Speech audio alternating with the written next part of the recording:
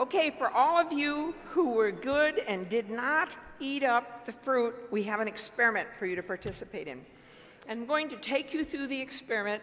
I am not telling you what hypothesis we are testing, but there will be several people available afterwards to tell you about it at the party.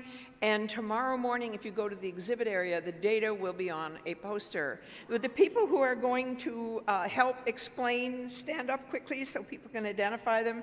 Renee, great. Scott, Deb, wonderful. You can ask all of us questions about it. We can tell you after uh, the experiment. Okay, what I'm going to do is explain how we're going to scale this first and take you through that part of this questionnaire. Then I'll have you taste the fruit, rate it, and then while we're waiting um, for the miracle fruit to take effect, and I'll explain that in a moment, I'll have you fill out the demographics. So that's the order we'll go in. So to begin with, we're going to use a rating scale, and it's written down here.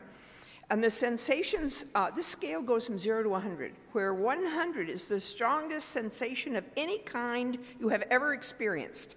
Think about it and circle whatever was the strongest sensation for you, whether it was a sound like a jet plane taking off or a fire engine, a light like staring at the sun, pain, the worst pain you've ever had, uh, touch, uh, taste, or smell. Whatever for you is the most intense, that for you is going to be 100. Now, we're going to give you some practice items. So with the pencil you were given, on that scale of 0 to 100, mark the number of the brightness of a dimly lit restaurant. From 0 to 100, how would you rate the brightness of a dimly lit restaurant? Now, mark the brightness of a well-lit room. Put that number in that square. Rate the brightest light you've ever seen. The loudness of a whisper, the loudness of a conversation, the loudest sound you've ever heard, and the strongest pain you've ever experienced. You have now constructed for yourself a scale of your sensory world. All sensations you've ever had go somewhere on the 0 to 100, and I'm going to ask you to rate the attributes I'm going to describe of this fruit on that scale. So we begin with a strawberry. Sniff the strawberry and rate the strawberry odor.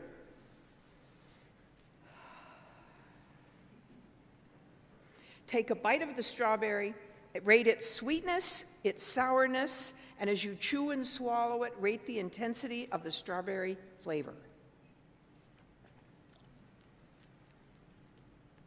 Mm. When that's finished, Move on to the lemon. Sniff it, rate the lemon odor. Take a bite of it, rate the sourness, the sweetness, and the lemon flavor as you swallow it. And then there is a tablet, packaged almost like a vitamin might be. Pop it out of its case this is freeze-dried miracle fruit, a tropical West African berry you'll learn more about tomorrow morning. And put it in your mouth. You want this to dissolve on your tongue. The effect of miracle fruit is contact. Rub it across your tongue. And if you chew it very gently and keep the fragments, don't swallow it, don't eat it, but chew it so that the fragments will spread across your tongue. And this will speed the process a bit. And while you're doing this, fill out the demographic information on the sheet, sex, age, height, weight, and so forth.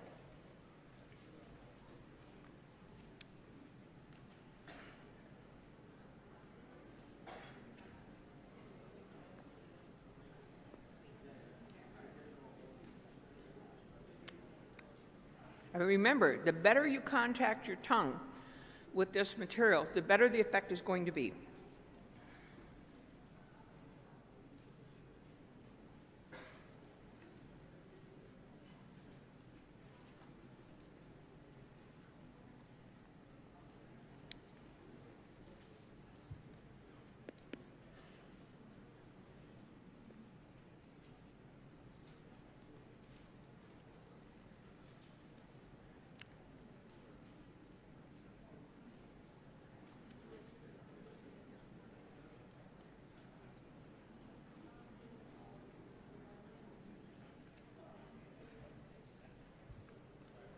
How are we doing? Is the tablet dissolving? Takes a while. Mine's doing well. I chewed it up. The fragments are spread all over my tongue. The better you do this, the better the effect will be. I'll just cheat and see how it's doing.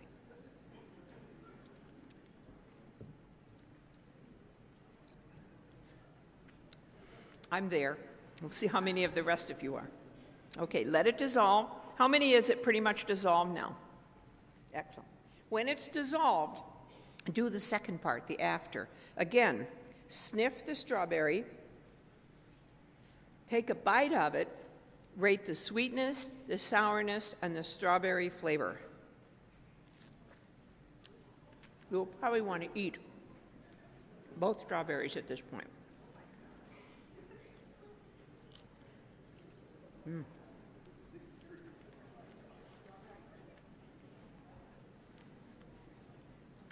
After you have finished the strawberry, the lemon, sniff it, bite into it, rate the sweetness, sourness, and lemon flavor. Anybody noticing anything interesting?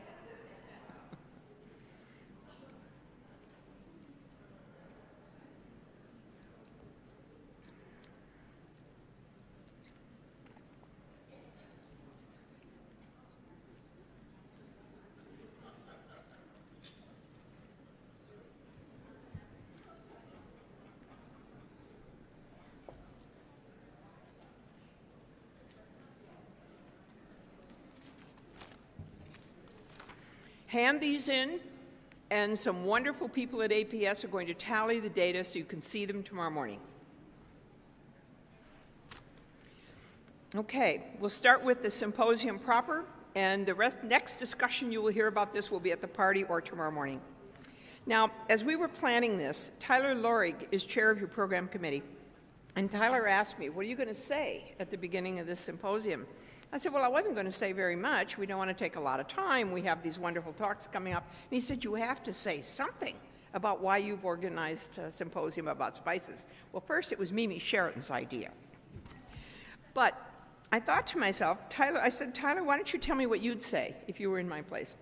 And he sent me a wonderful email. And I'm going to read his words. Some of you are, no doubt, wondering why you are about to listen to a bunch of distinguished people tell you about spices at a psychology conference. It is, of course, true that it will be incredible fun and you'll learn some things that will surprise you. But many of you have to be wondering what does this have to do with psychology? The answer is as plain as the nose on your face. Is it, about, it is about understanding how flavor shapes what you do and who you are. Tomorrow, Julie Mennella will show you how intimately flavor is connected to our family and cultural identity. Today, the people on this stage will talk about how humans love and use spice. Spice has, of course, shaped the contours of human history. Explorations have been made and wars fought over spice. Few commodities were more precious to humans just a few centuries ago. Why would you fight a war or build a road for spice? It's because flavor matters to people. It shapes what they do, what they eat, and especially how much they eat. The obesity crisis in America is due in part to the fact that we are driven to self stimulate ourselves with flavors. This is a crisis that would benefit from the clear thinking and clever experiments psychologists can bring to bear on this issue. Spice is just a single example, but one that goes to the heart of the choices we make based on flavor. And I thank you very much, Tyler. I love those comments.